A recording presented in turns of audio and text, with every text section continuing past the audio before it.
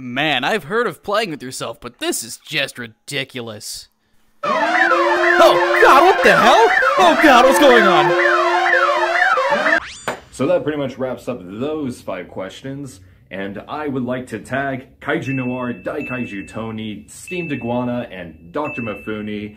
And here are the. Oh, alright then. Looks like Titangoji tagged me through the Cyberworld's firewall somehow. Gotta get that fixed, but I don't mind too much. The Tag You're trend helps grow this bubble of tokusatsu and kaiju on YouTube by answering five questions and then tagging four more people to answer another five questions. And it looks like it's my turn up on the block. Oh, and before we start, a little surprise. A little firmware update from Ultraman Ultimo. Thanks, man. Love how it looks. Anyways, with that out of the way, let's get cracking.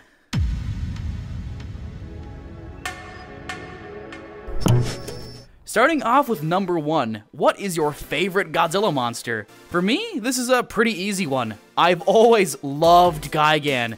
His personality, his design, it's just been one that's always stuck out to me. I even have a shrine dedicated to him in my collection, with a bootleg signed by the suit actor Kenpachiro Satsuma. Besides that, I've always loved the Showa Ghidorah, Moguera, and of course, Minya. Number 2, what's your favorite non-Godzilla tokusatsu series? Well, this one's kinda obvious. Besides Gridman though, one that I've always loved that's not necessarily tokusatsu is Project Nemesis. It's fantastic kaiju book series by Jeremy Robinson, and is probably the best giant monster literature I've ever read. Definitely will have to make a full video talking about them after I reread them in the future. Number 3. What is your favorite kaiju movie, including anything Godzilla related? This one has changed a lot over the years. For the Showa era, my favorite has always been Godzilla vs. the Sea Monster, and I remember way back in the day, I really liked Godzilla vs. Megaguirus a lot. But in 2016, that all changed with Shin Godzilla. It's one of my favorite movies of all time, and I think it executes the themes of the original Godzilla in modern times with flying colors. Everything from the story to the more realistic tone to the creepy and ever changing design of Godzilla himself is just something that I love, and I don't think it'll be knocked down from that pedestal anytime soon. Question 4 What is your ideal Godzilla movie? Part of me really wants to say the Godzilla vs. Evangelion movie that everyone thought was going to happen, but just turned out to be a merchandising campaign. Since seeing Eva units and Godzilla duke it out is still one of the biggest reasons I want to visit Japan. But I also think a Godzilla movie about a world overrun by kaiju would be awesome.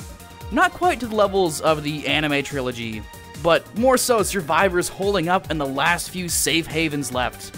A few countries just barely holding off their borders with the mecha arsenal they have, and trying to reconnect a now broken and divided world. You could even have different species of kaiju claiming territory across the globe, like Zillas in Australia or a nest of Rodans in the Grand Canyon. Could even have someone like Jet Jaguar being a Lone Ranger type of character, wandering around the countryside helping survivors in need. I think there's a lot of potential for stories there. It might be kinda basic, but it's still something I'd love to see. And finally, question 5. Are you Team Godzilla or Team Kong? As a wise man once said, Team Box Office 2021. Well, with my answers out of the way, I suppose it's time for me to ask some questions.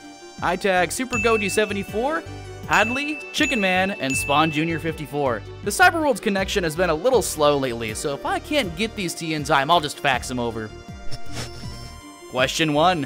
What is the biggest Godzilla rumor you believed growing up? Question 2. What's your favorite Godzilla game? Question 3.